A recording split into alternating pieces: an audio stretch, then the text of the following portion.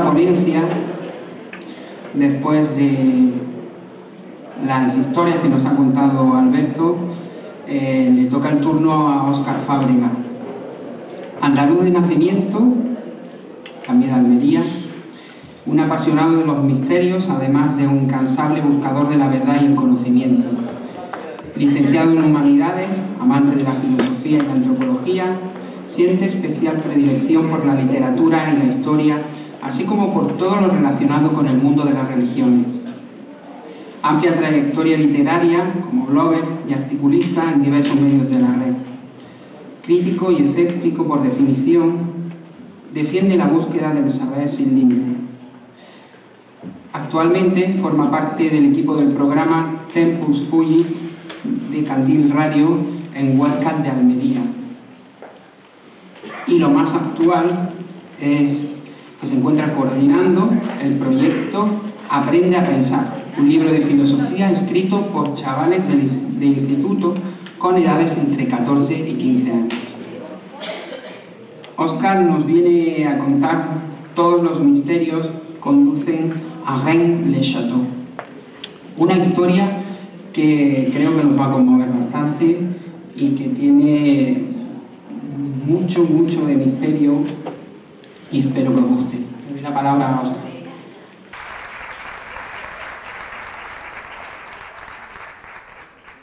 Bueno, a ver, antes de nada me gustaría pedirle a quien lleve los controles de esto si pueden bajar un poquito la luz. Más que nada porque me gustaría ver un poco las caras y es que realmente es... Ahí, ahí. Venga, gracias.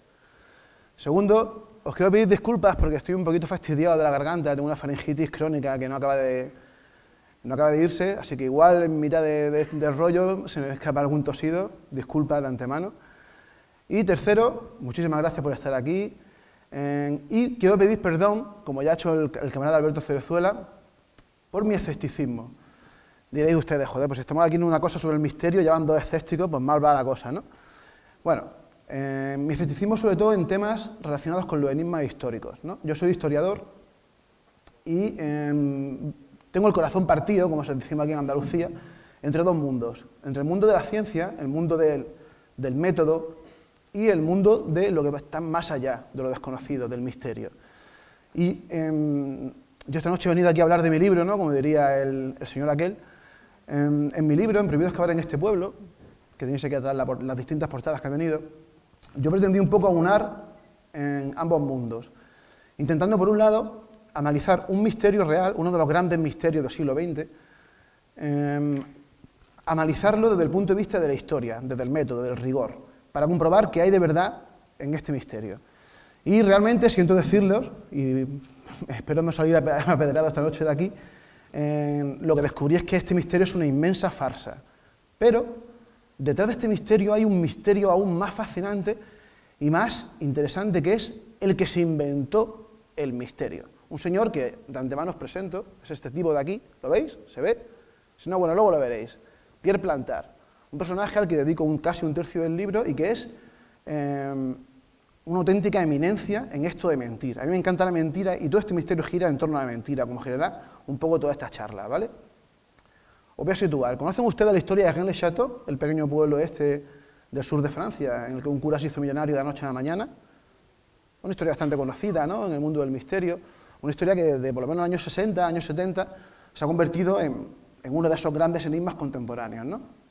Os voy a contar, para que no, pues tengan mucha idea de esto, muy brevemente sobre qué gira esta historia y eh, veremos cómo intentaré demostraros, en el libro lo demuestro con mucha más evidencia documental, cómo en realidad prácticamente todo lo que se ha dicho sobre esta historia es mentira, pero además de una forma absolutamente soez y rocambolesca, ¿no?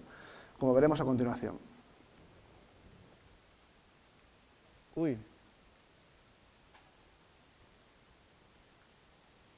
Bien. Rennes Chateau, un pequeño pueblo, que lo pueden ustedes ver ahí en el mapa, está un pequeño pueblo, una pequeña aldea, que no tiene ni 100 habitantes hoy en día, y que en la época en la que sucedieron estos acontecimientos no tendría ni siquiera 200. es decir, a finales del siglo XIX era aún más populoso de lo que es hoy en día. Un pequeño pueblo que está a escasos kilómetros de la frontera española, unos 60, 70 kilómetros de los Pirineos, y que eh, sigue siendo a día de hoy, a pesar de que se ha convertido en una especie de, centro de peregrinación del, turista del misterio, sigue siendo una pequeña aldea rural en la que eh, cuando uno va allí no sabe exactamente de qué vive la gente, ¿no? Muchos dirían, pues bueno, pues viven de esto, viven de los turistas que van allí, pero tampoco parece, ¿no? O sea, es un poco raro. Luego os contaré algunas novedades que tenemos sobre a qué se dedica la gente de allí, ¿no? Pero bueno, allí, a finales del siglo XIX, exactamente en 1885, así era el pueblo, eh, bueno, un poco después, a principios del siglo. Allí, en 1885, este señor que ven en la foto, este señor apuesto y gallardo, llamado Berenguer Saunier, eh, llegó al pueblo como nuevo eh, sacerdote del pueblo, nuevo cura del pueblo. para que os hagáis una idea, y esto es para que, anticipando posteriores datos que daremos, este señor cuando, cuando llegó allí cobraba 50 francos al mes. La fortuna que años después declaró que había gastado en todas las construcciones, en todas las cosas que compró, en todas las porcelanas, las, bibliotecas, las cuberterías, joyas, todo lo que él dice que compró, hacienda un total, según él mismo declaró ante un proceso judicial que emprendieron contra él, fueron 197.000 francos. Imaginad, ¿no? Con un sueldo de 50 francos al mes, ¿Dónde sacó este señor 197.000 francos? Y además, a mí siempre me gusta poner el ejemplo de Bárcenas, para ponerlo un poco en el contexto actual, ¿no? Cuando a alguien le acusan de estar robando, de estar metiendo mano en algún, en algún lado, pues siempre tiende a rebajar la cuantía del dinero que ha gastado, ¿no? Para, intentar justificar lo menos posible el dinero, ¿no? O sea, si él mismo declaró que eran 197.000, es porque seguramente era bastante más, ¿no? El misterio clave es de dónde sacó la pasta el cura, de dónde sacó esos 197.000 francos o lo que sea que gastase. ¿En qué gastó ese dinero? En esto, entre otras cosas. Esto es la famosa Villa Betania, una pequeña mansión palaciega, bueno, pequeña, es grande comparada con el resto del pueblo, con un pueblo de casitas pequeñas, muy pobre, muy oscuro, em, muy, muy, muy rural. Sin embargo, este señor, pues, en su delirio de grandeza, se hizo esta mansión que realmente no es tampoco una mansión realmente espectacular, pero en el, contorno, en el contexto del pueblo, pues sí lo es, ¿no? La Villa Betania. Se construyó todos esos jardines que hay enfrente, aquí lo pueden ver un poquito mejor, y esto. ¿Conocen ustedes este monumento? Está la famosa Torre Magdala.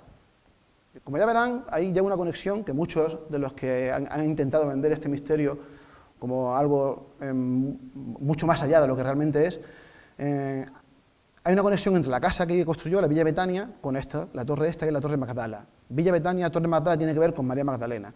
Luego volveremos y veréis por qué digo esto. ¿no? Esto simplemente es una pequeña torre neogótica que se construyó en sus jardines y que se, la utilizó como biblioteca durante muchos años. Y ahora vamos a dar un pequeño salto en el tiempo y nos vamos a ir al año 2007, que fue cuando yo empecé a interesarme por esta historia, ¿no? porque yo muchas veces me lo he preguntado yo, ¿no? y muchas veces me lo han preguntado, ¿no? ¿qué demonios hace un tío de Almería investigando un, un misterio del sur de un pueblo del sur de Francia? ¿no? Bueno, pues todo se debe a una pequeña visita turística que hicimos en el año 2007, varios amigos allí, yo estaba ya muy interesado en el tema, y decidí visitar la zona in situ para conocer realmente qué había de cierto en esto. ¿no?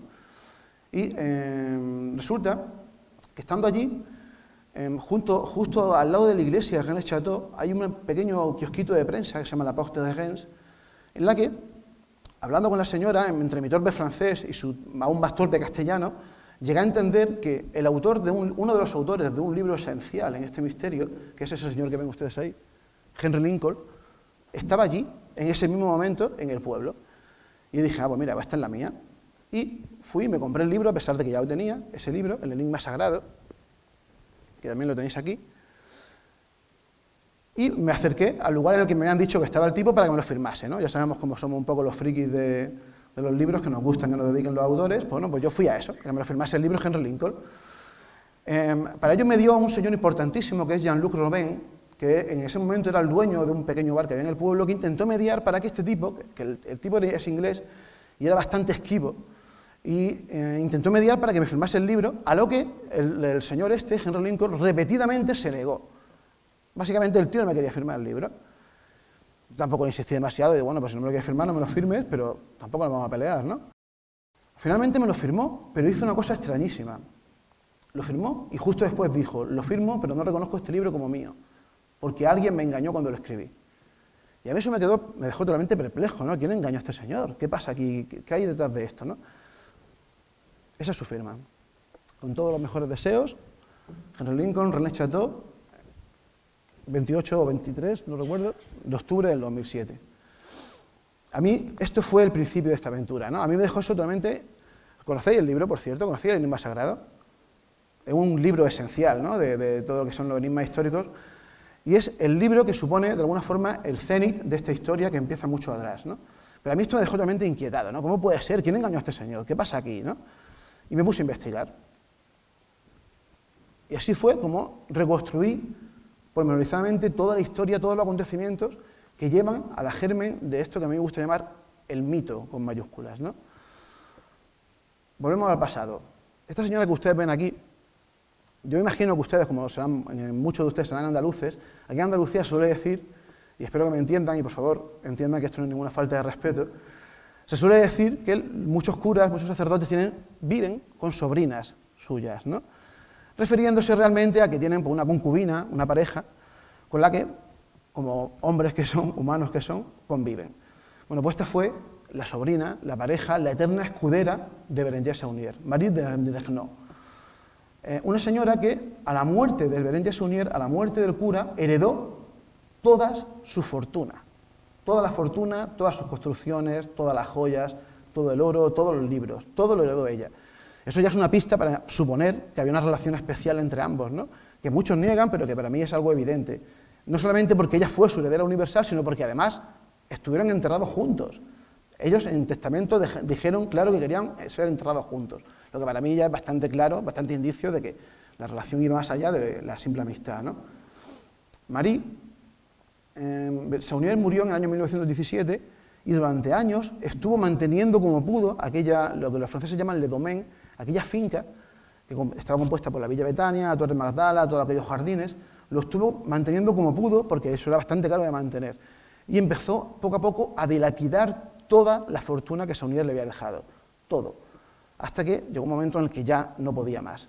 No podía mantenerlo, aquello estaba eh, en ruinas prácticamente, y se vio obligado a venderlo. Y se lo vendió a este señor.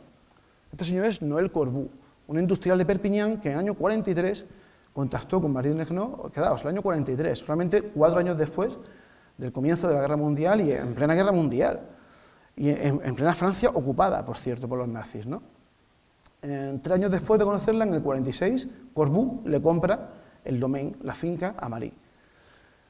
Claro, la cosa está, y para, para, que entendáis de verdad esto, ¿por qué este señor compra aquello? Porque aquello era una pequeña finca, sí, muy bonita, muy, muy destacable, pero estaba en un pueblo de mala muerte, al que no iba absolutamente nadie, y que no había forma ninguna de rentabilizar.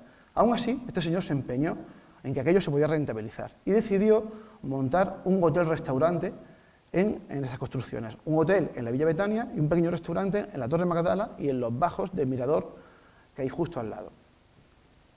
Y así, y perdonen el momento de foto, así este señor hizo lo que se llamó el Hotel-Restaurante de la Tour. Este es em, el, pequeño cartel, que es lo único que queda de aquel restaurante que montó Corbú. Claro, este señor pensaba que aquello iba a ser un pelotazo, que la gente iba a ir en masa a visitar aquel hotel, pero allí no iba nadie, no iba absolutamente nadie. Entonces, es cuando surge el primer punto de este misterio, el primer punto de esta gran mentira. Este señor empezó a contar a los pocos clientes que iban que el origen de la fortuna de este cura, que se hizo rico, fue que había encontrado un tesoro vastísimo, un tesoro tan vasto, tan inmenso, que había sido incapaz de gastar en vida. Y eso en un primer momento se lo contaba uno a uno a los pocos habitantes, a, los, pocos visitantes que iban a su hotel. Aquello empezó a expandirse por la zona y poco a poco fue acudiendo efectivamente más gente. Hasta que, finalmente, decidió darlo todo, el bueno de Noel Corbú, hizo esto. Esta es la primera aparición pública del misterio de Henry Chateau en la prensa. Esto es en el año 1965, es decir, casi 20 años después de aquello, no, perdón, en el año 1956, casi 10 años después de aquello, decidió publicarlo en la prensa. Y fueron estos tres artículos de un diario local, el de Pêche du Midi, en el que contaba la cosa. ¿vale? Eh, os voy a explicar una cosa para que entendáis hasta qué punto el, misterio eclosionó de una forma absolutamente desproporcionada. El titular dice, el fabuloso descubrimiento del cura de los millardos. ¿Saben ustedes lo que son los millardos? Es un término que en castellano no se usa, aunque existe, que significa miles de millones. En inglés es lo que se suele decir billions, miles de millones. Es decir, el fabuloso descubrimiento del cura de los miles de millones. Este hombre aseguraba que el tesoro que había encontrado estaba compuesto por miles de millones de francos. ¿Recordáis lo que os decía al principio de la charla? Que él mismo declaró una fortuna de 197.000. Imaginad el salto que hemos dado ya. Ya hablamos de miles de millones de francos. Pero además fue más allá y dijo que Marí, la sobrina del cura, le había dicho en vida el tesoro era tan vasto y tan grande que no lo, pudieron, no lo pudo gastar en vida y que parte de ese tesoro aún estaba en algún sitio del subsuelo de Rennes-le-Château. Claro, imaginad que yo os digo que aquí debajo del teatro están los restos de un tesoro que encontró un cura hace 100 años y que aún debajo de aquí hay miles de millones de las antiguas pesetas en monedas oro. Yo imagino que más de uno, alguna noche con nuestra unidad y alevosía, se acercaría por aquí con, armado de pico, pala, e igual hasta alguna barrena, alguna dinamita, en busca de ese tesoro, ¿verdad? Eso es lo que pasó en René. Fue decir eso y se produjo una auténtica y absolutamente desproporcionada fiebre del oro. La gente de la zona iban los domingos con picos, palas, incluso, como decía, con dinamita, y empezaron a agujerear todo el pueblo. Todo. De hecho, el que visite el pueblo puede incluso comprobar a día de hoy que aún hay, hay muchas, muchas de las zanjas, de las grutas, de las pequeñas excavaciones que hicieron. Incluso os puedo asegurar que a día de hoy, y esto lo digo con pleno conocimiento y con información de primera mano que tengo, hay gente que sigue excavando, a pesar de, aquí tenéis más fotos ¿no? de las excavaciones, llegaron a excavar el cementerio, todo se levantó. Y por supuesto, nadie encontró jamás nada, por una cosa bien sencilla, imagínense, ¿no? Muy grande tenía que ser el tesoro para que el Señor no lo sacase entero de allí. El Señor, si encontró un tesoro, lo sacó entero de allí, lo, lo fundió si era oro y se lo gastó. No iba a dejar nada ahí para que llegase otro. Sin embargo, la gente se creyó esa historia y lo dieron por válido, ¿no? Aquello fue un despelote y aquello durante años se convirtió en un reír, ¿no? Hasta el punto de que, eh, por una cosa que yo relato muy pormenorizadamente en el libro, eh, un buen día, eh, unos que de los que fueron con dinamitas provocaron un accidente con varios heridos y el alcalde del pueblo decidió prohibir excavar allí. De ahí el título de mi libro, Prohibido excavar en este pueblo, y de ahí este cartel que nos recibe nada más entrar a René Chateau. Las excavaciones están prohibidas en el término municipal de René Chateau. Este es el gran problema por el que al día de hoy no sabemos realmente qué es lo que pudo encontrar, si es que encontró algo, Berenguer Saunier, porque está prohibido excavar. De hecho, eh, se han hecho intentos, yo conozco a gente que ha intentado conseguir los permisos necesarios para excavar y no se puede excavar porque todo depende de la común del Ayuntamiento de René Chateau que se niega, se niega que se excave. Luego veremos como seguramente eh, Saunier pudo haber encontrado un pequeño tesorillo, ni mucho menos tan vasto como se dijo, en la cripta que había debajo de la iglesia. Pero como no se puede excavar, pues no podemos acceder a él. ¿no? Demos un salto de nuevo en el tiempo. Hasta ahora solo tenemos una explicación al misterio. El misterio, recordemos, y no es por ser cansino, pero es muy claro, el misterio es el origen de la fortuna del cura, de dónde sacó las pelas en la base Unier. ¿no? En un primer momento se planteó el tesoro, pero luego llegó este señor, Gerard de Set, que es el autor de este libro que tienen ustedes aquí, El oro de Rennes, que también sale aquí atrás. El, libro tiene diferentes títulos, ¿no? El tesoro maldito, El oro de Rennes. Y este señor, junto con, el otro libro, con el Enigma Sagrado, establece un eje que eh, para mí es el eje principal de este misterio. Este señor propuso una teoría distinta. Propuso que lo que encontró Saunier no fue realmente un tesoro económico, o si fue económico fue lo menos importante que encontró, sino que encontró algún tipo de documentación, algún tipo de evidencia arqueológica, algún tipo de resto, algo por, el que, por lo que fue pagado o para que lo aportase o para que lo escondiese. ¿Qué pudo ser lo que encontrase? ¿no? Pues Gerard de Set no se acaba de mojar, Gerard de Set, este señor de aquí, no se acaba de mojar y plantea diferentes posibilidades. ¿no? Pero luego en el, libro este, en el libro que el tipo no me quiso firmar, en el Enigma Sagrado, exponen realmente la gran posibilidad. Y ahí es donde esta historia, que en un primer momento se no parece tener demasiada importancia, que está muy circunscrita a un pequeño pueblo de Francia, da un salto enorme y nos vamos a esto, los merovingios, los famosos merovingios, que de un tiempo a esta parte se pusieron tan de moda, no, paraban de salir libros hace unos años de esta gente, Los merovingios fueron unos reyes de Francia, unos, reyes francos, que gobernaron Francia, Francia, y ni siquiera Francia, sino algunas zonas, algunas provincias de Francia.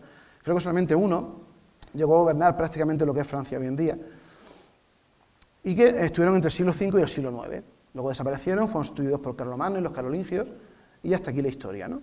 Pues bien, en el enigma sagrado lo que plantean, y Gerard de Sey ya lo, planteaba así un poquito por encima en, el oro de Rennes, lo que planteaban era que lo que había encontrado este señor, el cura, era la prueba de que ese linaje de los merovingios no había desaparecido, sino que había continuado en la sombra y que lo que había encontrado era una genealogía que mostraba la supervivencia de ese linaje.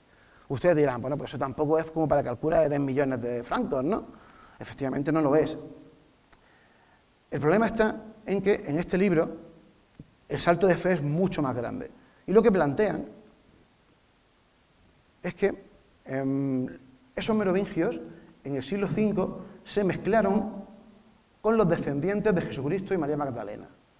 Ustedes dirán, bueno, ya estamos aquí dando un salto cada vez más grande de fe, ¿no? ¿Qué les digo yo? No, esto es lo que han dicho estos autores. ¿Por qué María Magdalena? Pues porque realmente en Francia, no en esta zona de Francia, sino en la Provenza, que es una zona de Francia, la zona de Marsella, existe una leyenda que plantea que después de la muerte de Jesús, María Magdalena, junto con José de Arimatea, em, bueno, algunos más, Lázaro y algunos más, Marta de Betania, desembarcaron en un pequeño pueblo que se llama Santa María de la Mar, la Santa María de la Mar, y que allí María Magdalena comenzó a predicar el mensaje de Jesús. Esto tiene una importancia trascendental, porque aunque la Iglesia no reconoce el papel de apóstol a María Magdalena, en esa zona de Francia sí se le reconoce. De hecho, sus reliquias siguen estando allí, en la Catedral de San Maximilien en Marsella. Y hay una, veneración enorme en Francia por esta santa.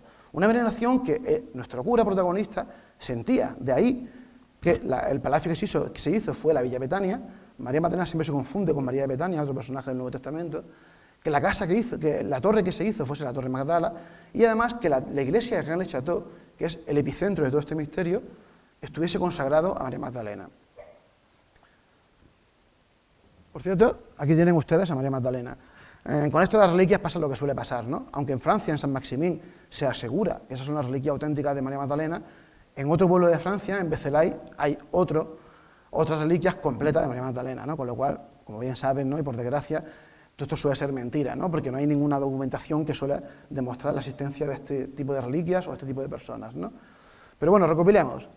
En el enigma sagrado lo que se afirma es que lo que hizo rico al cura fue encontrar la prueba de que Jesucristo y María Magdalena tuvieron descendencia, que esa descendencia se mezcló años después con los merovingios, que esos reyes merovingios desaparecieron, pero que eh, siguieron manteniéndose en la sombra su linaje hasta el día de hoy. Por lo tanto, según esta teoría, en Francia, a día de hoy, hay alguien que no solamente puede reivindicar el trono francés por ser descendiente de los merovingios, sino que además puede decir que es hijo, perdón, descendiente de Jesús y de María Magdalena. Claro, si esto fue lo que encontró el cura, pues sí podría explicar la fortuna que supuestamente le pagaron, ¿no? Diréis, bueno, ¿qué hay de credibilidad? ¿Hay algo de cierto? ¿Hay algo de posible en esto? Pues no. Esto es absolutamente mentira. No hay nada que demuestre esto. Yo no quiero, vamos a ver, lo que es mentira es que esto tenga que ver con el pueblo, con el misterio del cura. Yo no entro a valorar si Cristo y María Magdalena tuvieron descendencia, eso es otro tema, ¿no? Lo que sí está claro es que no hay nada que relacione a René Chateau con la supuesta descendencia de María Magdalena. Es absolutamente ridículo. Y ahora os voy a exponer varias em, para que entendáis un poco cómo funciona, em, cómo funciona mi investigación y cómo creo que debe funcionar la investigación de cualquier persona que se dedique a analizar enigmas históricos con un mínimo de rigor. Os voy a poner cuatro o cinco ejemplos de hasta qué punto se han soltado estupideces o tonterías de una forma absolutamente disparatada, sin la más mínima intención crítica y con la clara intención de, pues de difundir, de vender humo. Os pongo varios, el primer ejemplo. Esta es la entrada a la iglesia de Rennes le Chateau. El pórtico de entrada y justo, a ver si funciona el cacharro este, justo aquí, ¿se ve? Justo aquí hay una inscripción que está aquí que dice Terribilis est locus iste. Este lugar es terrible. Claro, así de primeras os dicen, ¿cómo puede ser que haya una iglesia que en la entrada os reciba diciendo, este lugar es terrible. Pues de primeras pues puede parecer la hostia, ¿no? ¿Cómo, puede, cómo que el lugar es terrible? ¿Qué pasa? Una iglesia que te, recibe de esa manera tan realmente amenazadora, ¿no? El problema está en que eso es lo más ortodoxo del mundo. Eso pertenece al libro del Génesis y es, ustedes conocen la historia del sueño de Jacob. Jacob, el, personaje bíblico, tuvo una noche un sueño y durante ese sueño un poco psicodélico soñó que se peleaba con un ángel. Una cosa rara, ¿no? estuvo toda la noche peleándose con el ángel y cuando se despertó aseguraba que había visto una escalera que subía hacia el cielo. Al final de la escalera veía a Dios y dijo al despertar, este lugar es terrible, es la puerta del cielo y la casa de Dios. Terrible en latín, terribilis, en latín no significa realmente terrible en el sentido castellano de amenazador, de terrible, sino maravilloso. Este lugar es maravilloso, este lugar es sobrecogedor. Eso es lo que quiere decir esta inscripción. Y esto os invito a que esta noche mismo busquéis en Google el misterio de Rennes Chateau y veréis como a día de hoy se sigue repitiendo críticamente esto. Claro, esto va junto con la segunda evidencia, como voy a mostrar, que es nada más pasar esta puerta y nada más recibir esa terrible advertencia de que este lugar es terrible, encontramos a este señor. Y claro, si juntamos lo de este lugar es terrible con que a un metro después nos encontramos con un diablo, un demonio, pues claro, la cosa ya inquieta, ¿no? ¿Qué hace un demonio en una iglesia, un demonio tan feo, tan horroroso, así, en una iglesia, ¿no? Siempre se ha dicho, ¿no?, que es el demonio Asmodeo. ¿Por qué? Porque Asmodeo es un demonio muy, aunque aparece en la Biblia, no tiene más importancia, pero sí tiene mucha importancia en, algunos libros apócrifos del Antiguo Testamento, porque fue el que ayudó al rey Salomón a construir el templo de Salomón. El templo de Salomón es famoso dentro de todo este mundo de los enigmas históricos porque fue después de, que Jerusalén cae en manos de los romanos en el año 70, el templo de Salomón fue destruido y sus tesoros fueron llevados a Roma. Años después, esos tesoros fueron a su vez robados por los visigodos en el año 400, cuando el Arico conquista Roma, y esos tesoros acabaron precisamente muy cerquita de René Chateau, en Carcassonne, y años después acabaron en Francia, en Toledo y bueno, en algún sitio más. ¿no? Entonces, claro, hay quien plantea que este demonio, que está en René Chateau, es Asmodeo, pues con la clara intención de relacionarlo con el tesoro de Salomón, y planteando que quizá lo que encontró el cura es ni más ni menos que ese tesoro. Pero lo que no suelen decir es que este demonio no, está, no es una figura aislada, no es una escultura aislada. Y ahora entenderéis a lo que me refiero. Por cierto, el demonio lo que está sujetando es la pila de agua bendita, y lo está sujetando como, como un gesto de dolor, ¿no? En realidad esto pertenece a un conjunto escultórico compuesto por más piezas. Esto.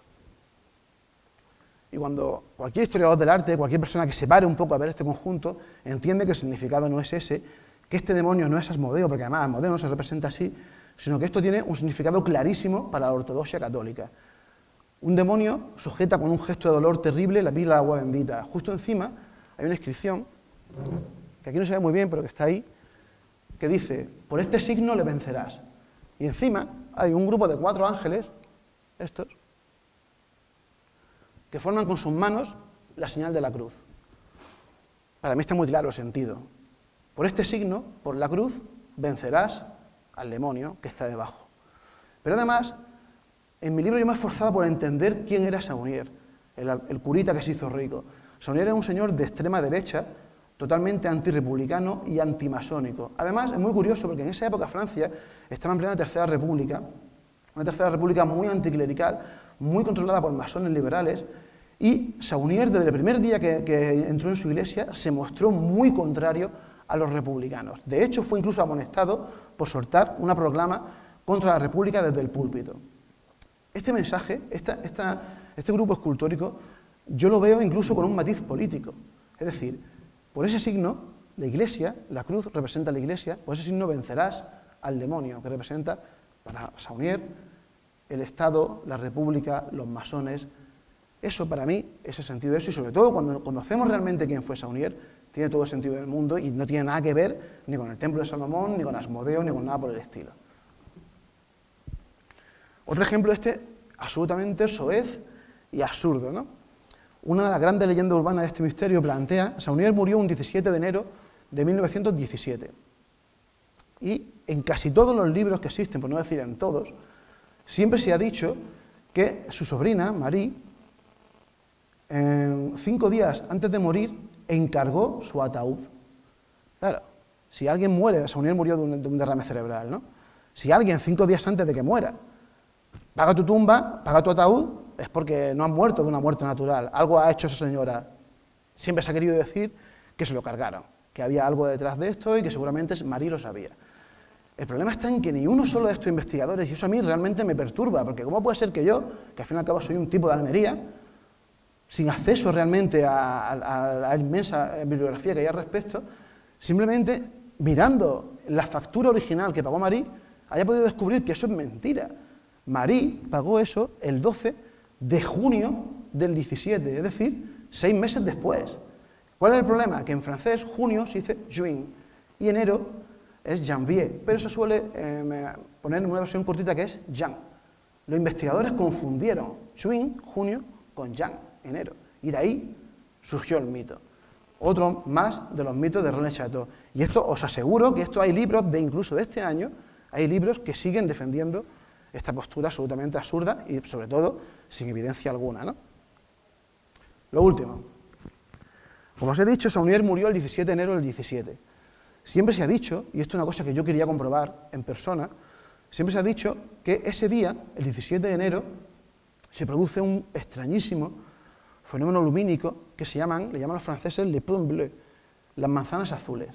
Y es que efectivamente se dice que el primer rayo de luz de ese día atraviesa las vidrieras de la iglesia, una vidriera precisamente dedicada a María Magdalena, y forma unas figuras, así como unos, circulitos azules, dorados y tal. ¿no? Yo tenía bastante interés en esto, pero resulta que la última vez que yo visité el pueblo, que fue en noviembre del año pasado, he aquí mi sorpresa, que fue la primera vez que yo lo pude percibir aquello, conseguí hacer esta foto en noviembre, no el 17 de enero, porque todos los libros dicen que solamente se produce ese fenómeno ese día. Y eso es mentira. Se produce durante tres meses seguidos. Tres meses seguidos. De hecho, esta foto ya te digo, es del 11 de noviembre o del 12 de noviembre del año pasado. Otro más de los mitos de este tema, ¿no? Y ya para terminar, para ir concretando, y perdonad por favor el coñazo tan tremendo que creo que estoy soltando, este señor es el gran mentiroso. Este señor es el motivo por el que yo me puse a investigar este tema y a la vez es un personaje absolutamente maravilloso, increíble y genial. Y simplemente por esto por este señor, os recomiendo de verdad que leáis mi libro, porque merece la pena conocer a Pierre Plantard de Saint-Clair. Este señor, que es el señor de la fotito que enseñaba antes, que durante 40 años aproximadamente, sin un aparente ánimo de lucro, se dedicó a contaminar a un montón de autores, entre ellos el tipo que no me quiso firmar el libro, Henry Lincoln, Gerard de Sed y muchísimos más, aportándole información falsa sobre este tema. Este señor se lo inventó todo esto, todo lo que hemos estado hablando, se lo inventó él. Él fue el primer gran investigador de este misterio. Y él lo que hizo es una gigantesca obra de, historia ficción, mezclando cosas reales, el misterio real del cura, con sus locuras. Este señor aseguró, y luego lo vamos a ver en un pequeño vídeo de un minuto que os voy a poner al final de esto, aseguró que él era, atención, el último descendiente de ese linaje que os comentaba antes, de los merovingios, y de María Magdalena y Cristo. O sea, este señor tuvo las santas narices de decir en televisión que él era el legítimo aspirante al trono de Francia y que era descendiente de Jesucristo. Y le creyeron. Pero además, imaginad lo absurdo que es eso. Eso es como si alguien de aquí, de pronto, eh, alguien de España, dice que es descendiente de Don Pelayo y que además pues descendiente de Jesucristo y María Magdalena, ¿no? Imaginad, lo que por loco, ¿no? Pues a este señor lo creyeron. ¿Cómo puede ser que le creyesen? Porque se le ocurrió. Se le ocurrió de una manera absolutamente genial, genial de verdad. O sea, os puedo asegurar que su, montaje no tiene apenas fallos. Es una obra increíble que además él, realmente él lo que hizo es manipular a los, otros para que fuesen los otros los que construyesen el mito. Y os voy a poner algún ejemplillo. ¿Habéis visto el Código da Vinci o habéis leído el libro del Código da Vinci? Imagino, ¿no? Esto es el gran trabajo de, Pierre Plantard, este tipo que os comento. Se llaman los Les Dossiers Secrets, los dossiers secretos. Estos son una serie de librillos, de pequeños panfletos mecanografiados, que durante cinco o seis años este señor estuvo entregando, depositando en la Biblioteca Nacional Francesa. Em, no sé cómo funciona el tema en España, aunque me he informado, pero no acaba de estar muy claro cómo es el protocolo aquí. Pero allí existe una norma muy curiosa, que es, si yo cojo un libro de la Biblioteca Nacional y cuando lo devuelvo en su interior meto otro documento que esté grapado o cosido, el archivero se tiene, está obligado por ley a documentar y a archivar ese papel. Bueno, pues así, Pierre Plantar durante cinco o seis años introdujo los siete dossiers secrets. Siete dossiers secrets en los que él construía toda esta historia. Pero lo guay, y perdonad mi, mi jerga un poco callejera, lo asombroso de esto es que eso lo hizo entre 1961 y 1967. Este libro se escribió en el año 82. Durante 15 años estuvo guardando gran parte de esa información sin decírselo a nadie, hasta que un buen día se lo dijo a Henry Lincoln, al tipo que no me quiso firmar el libro. Imaginad la paciencia del tipo. Durante 15 años se contuvo esa mentira ahí. Eso es increíble, porque cualquier estafador lo que haría es darse bulla y hacer lo más rápido posible la mentira. Sin embargo, gran parte de esa información, la información clave de este libro, de los dossiers secretos, entre ellos eso, que es la lista de los grandes maestres del Pirato de Sion. El Pirato de Sion es una sociedad secreta que, según Plantar inventó, eh, fue la custodia durante los últimos mil años de ese linaje sagrado al que él pertenecía, además. ¿no? Esos son los grandes maestros del Pirato de Sion, entre los que están pues, Da Vinci, eh, Newton, unos cuantos nombres muy importantes. ¿Qué es lo curioso de esto? Que el linaje, perdón, el, el, listado de los grandes maestros del Pirato de Sion es solamente esto. Eso que ven ahí. Plantar solamente dio el nombre y el periodo en el que fueron grandes maestres de esa orden secreta.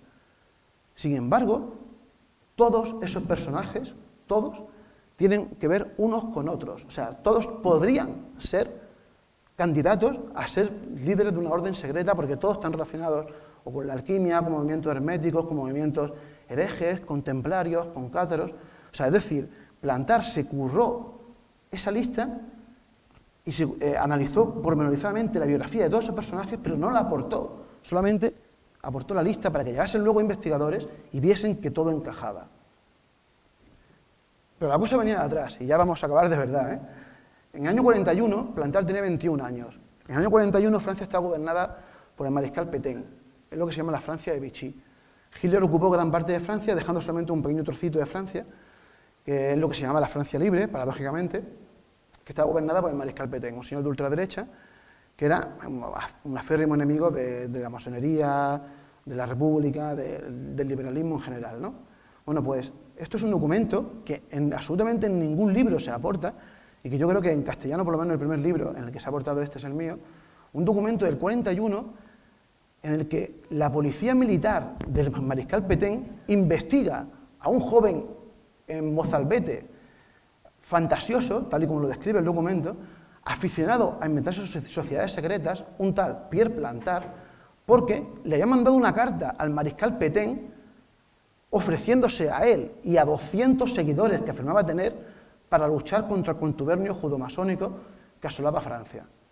Imaginad, con 20 años, casi 21 años, ya Pierre Plantar se atrevió a escribirle una carta al mariscal Petén ofreciéndose a él mismo como el líder de un grupo secreto. Años después hizo exactamente lo mismo con, el general de Gaulle, como yo explico en el libro, se inventó una nueva sociedad secreta que es el Privado de Sion, e incluso en los años 80 lo volvió a hacer con François Mitterrand, hasta el punto, eh, bueno, no sé si, destripar esto o no, porque esto es un poco el, colofón final del libro, ¿no?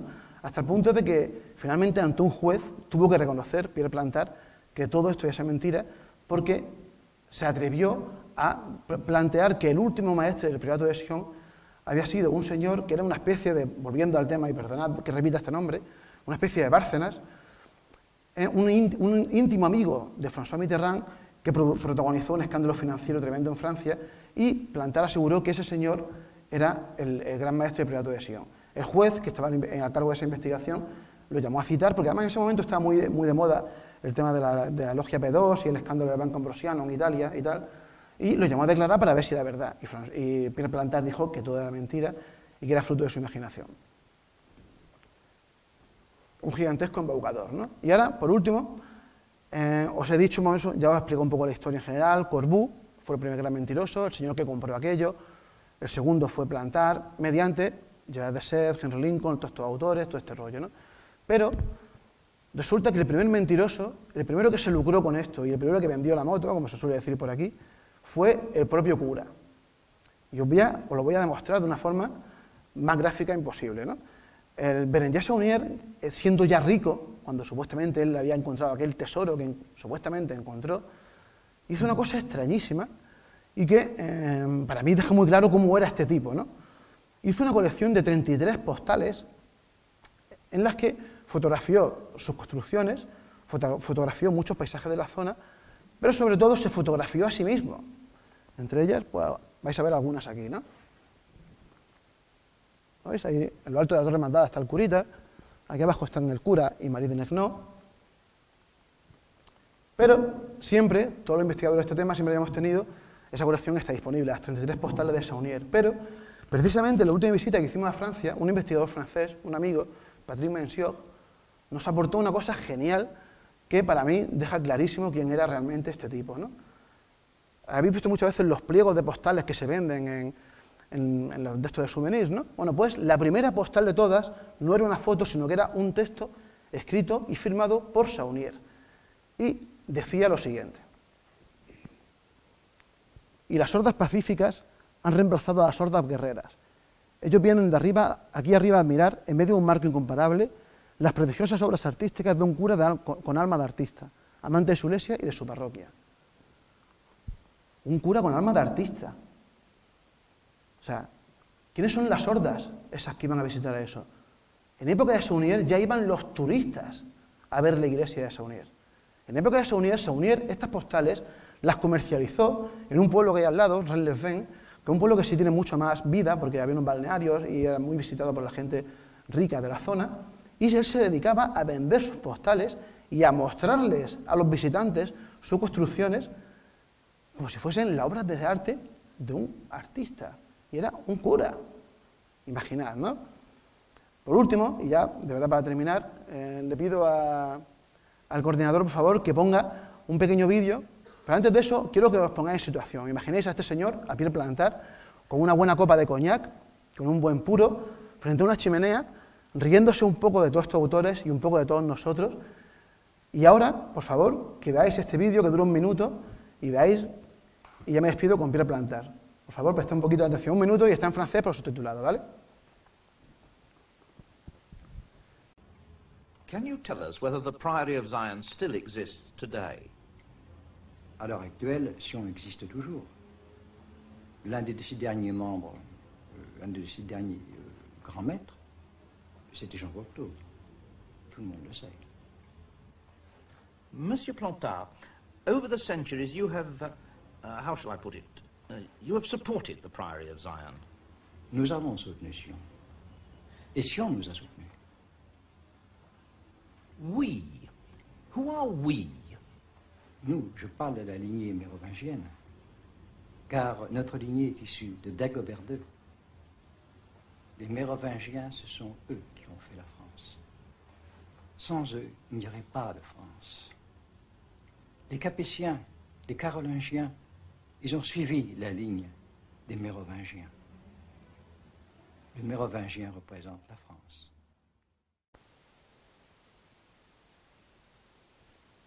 Bueno, pues ya está. Este señor es Pierre Plantar y pues siento de verdad ser un poco guafiestas, pero por desgracia Casi todo esto es mentira. Un placer y por favor disculpen el coñazo. Muchas gracias.